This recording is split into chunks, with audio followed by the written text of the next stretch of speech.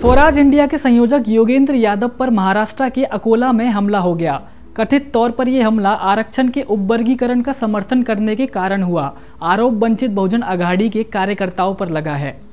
योगेंद्र यादव महाराष्ट्र के अकोला में भारत जोड़ो अभियान के तहत संविधान की रक्षा और हमारा वोट विषय पर सम्मेलन कर रहे थे। इस दौरान वहाँ मौजूद कुछ लोगों ने उनका विरोध करना शुरू कर दिया और नौबत धक्का मुक्की तक आ पहुँची।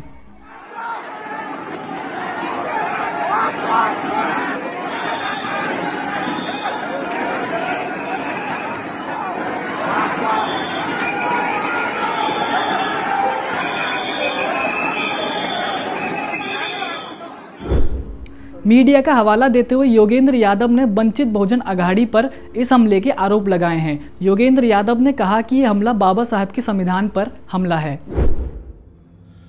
महाराष्ट्र विधानसभा चुनाव के बीच आज यहाँ अकोला में जो हुआ, उसे हर लोकतांत्रिक व्यक्ति को चिंता करनी चाहिए। भारत जोड़ो अभियान की तरफ़ से तीन दिवसीय विदर्भ का हम सब लोगों का दौरा चल रहा है। मेरे साथ उल्का महाजन जी हैं, भारत जोड़ो अभियान की महाराष्ट्र के संयोजक। और भाई संजय मंगला गोपाल, जो कि भारत जोड़ो अभियान के राष्ट्रीय सचिव हैं, महाराष्ट्र के सह संयोजक भी हैं। हम सभी साथी अलग अलग शहरों में जाके संविधान पे खतरे के बारे में सम्मेलन कर रहे हैं। आज अकोला में महाराष्ट्र डेमोक्रेटिक फोरम के साथ मिलकर ऐसा ही एक सम्मेलन आयोजित किया।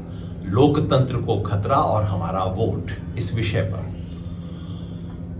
उल्काताई बोली, संजय भाई बोले, बहुत शानदार सभा थी, इतनी बड़ी संख्या में महिलाएँ वहाँ पे आई थी, और जैसे ही मेरा बोलने के लिए नाम लिया गया, एक व्यक्ति दौड़ के आया, उसने पहले माइक पकड़ा, उसके पीछे दस लोग आए, उसके पीछे पचास साठ लोग और आए, चिल्लाना और बार बार उंगली उठा के बड़ा आक्रामक तरीके से चढ़ रहे थे हमारे ऊपर। हम बस बैठे रहे। एक बार बार मैंने कहा, आप बोलने दीजिए, मैं आपके सब सवालों का जवाब दूँगा। लेकिन ज़ाहिर है, ये उनकी कोई नीयत नहीं थी। केवल और केवल हुड़दंग मचाना, हमला करना आठ दस मिनट तक हमारे साथियों ने घेरा बना के उनको रोके रखा। लेकिन एक स्थिति आई जब लग रहा था कि पूरे पचास साठ लोग हमारे ऊपर आके गिरेंगे और पीछे कोई जगह नहीं थी हमारे पास, उस वक्त पुलिस ने हमसे आग्रह किया कि हम वहाँ से निकले। पुलिस हमारे को बाहर निकाल के लेके आई। हुड़दंगियों ने वहाँ हमारा पुलिस की गाड़ी तक पीछा किया, कुर्सियाँ तोड़ी, मेज तोड़ा, सब कुछ वहाँ पे किया। मैं पिछले 25 वर्ष में महाराष्ट्र में न जाने कितनी बार आया हूँ, न जाने कब कब कहाँ कहाँ व्याख्यान दिए हैं। ऐसा कभी एक बार भी नहीं हुआ। ये महाराष्ट्र के लिए दुखद बात है। ये संविधान की रक्षा करने वालों के लिए, लोकतंत्र में विश्वास करने वालों के लिए दुखद बात है।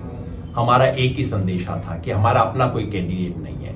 बाबा साहेब का संविधान हमारा कैंडिडेट है। इस संदेश को लेके आने वालों के साथ ऐसा बर्ताव होना, ये लोकतंत्र में विश्वास करने वाले सब लोगों के लिए चिंता की बात है। मुझे विश्वास है कि इसकी शिनाख्त की जाएगी, ये काम किन्होंने किया, किस इशारे पे किया कौन लोग थे जो डरे हुए थे कि हम अपनी बात न रखें? हालाँकि इस मामले पर अभी तक वंचित बहुजन अघाड़ी की ओर से कोई स्पष्टीकरण नहीं आया है, लेकिन योगेंद्र यादव के समर्थक कह रहे हैं कि वंचित बहुजन अघाड़ी के लोगों ने ही हमला किया है। योगेंद्र यादव ने आरक्षण में वर्गीकरण का प्रबल समर्थन किया था। एक अगस्त 2024 को जैसे ही सुप्रीम कोर्ट का फैसला आया, योगेंद्र यादव ने बड़े बड़े लेख लिखकर ये बताने की कोशिश की कि कैसे आरक्षण में बंटवारे से फ़ायदा होगा। बताया जा रहा है कि हमलावर उनके इस समर्थन से नाराज़ थे।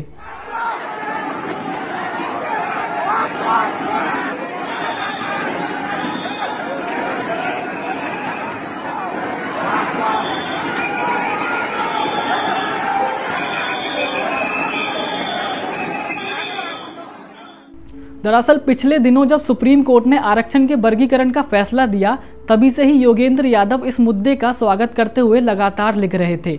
सोशल मीडिया पर उनका विरोध भी हो रहा था, लेकिन अब ये विरोध हाथापाई तक आ पहुँचा है। योगेंद्र यादव के स्टैंड को लेकर लोगों में अलग अलग प्रतिक्रियाएँ देखने को मिल रही थी। जब दलित बहुजन समाज ने वर्गीकरण के खिलाफ भारत बंद का ऐलान किया, तब भी योगेंद्र यादव ने इसका समर्थन नहीं किया। इसी बात का ज़िक्र करते हुए लंदन के रॉयल हॉलोवे यूनिवर्सिटी के assistant professor doctor Arvind Kumar ने ट्विटर पर लिखा, इस लोकसभा चुनाव में आप लोगों ने शोर मचाया कि संविधान खतरे में है। दलितों ने उसको अपने आरक्षण पर खतरा मानकर कांग्रेस को वोट दे दिया। फिर जब उनको लगा कि उनके आरक्षण पर वास्तव में खतरा आ चुका है और उसके लिए उन्होंने 21 अगस्त को भारत बंद बुलाया तो आप लोग गायब हो गए। योगेंद्र यादव से सवाल तो पूछा ही जाएगा, लेकिन उन पर हुए हमले को जायज़ नहीं ठहराया जा सकता। लोकतंत्र में हिंसा के लिए कोई स्थान नहीं है। इस मामले पर जैसे योगेंद्र यादव ने उपवर्गीकरण के समर्थन में लिखा, वैसे ही आप उनके विरोध में आर्टिकल लिख सकते हैं। आप उनके साथ सार्थक बहस कर सकते हैं, इसलिए इस तरह के हमलों से बचना चाहिए। इस बारे में आपकी क्या राय है, कमेंट करके ज़रूर बताएँ। वीडियो को शेयर करें और द न्यूज़ वीक को सब्सक्राइब करना ना भूलें। जय भीम। साथियों, अगर आपको द न्यूज़ बीक का काम पसंद है और आप चाहते हैं कि हम यूँ ही अम्बेडकरवादी पत्रकारिता करते रहें तो हमारी आर्थिक मदद ज़रूर करें। आप अपनी स्क्रीन पर दिखाई दे रहे इस क्यूआर कोड को स्कैन करें और न्यूज़ बीक फाउंडेशन के खाते में अपनी दान की राशि भेजें। क्यूआर कोड के अलावा आप यूपीआई के ज़रिए भी मदद कर सकते हैं। आप हमारी UPI ID News Week at the rate Yes Bank पर भी मदद भेज सकते हैं। इसके अलावा आप हमारे अकाउंट में भी मदद भेज सकते हैं। खाते का नाम है News Week foundation account number है zero two three five double eight seven double zero double zero zero six four zero. I F S C code है Yes B double zero double zero two three five. Bank का नाम yes bank है और branch है Nehru palace Delhi. आप donation के एवज में इनकम टैक्स में भी छूट पा सकते हैं। डोनेशन की रसीद पाने के लिए ट्रांजैक्शन का स्क्रीनशॉट हमें भेजें। टाइप करें डोनेशन स्पेस आपका नाम और हमें eight five nine five seven nine four two two four पर व्हाट्सएप करें।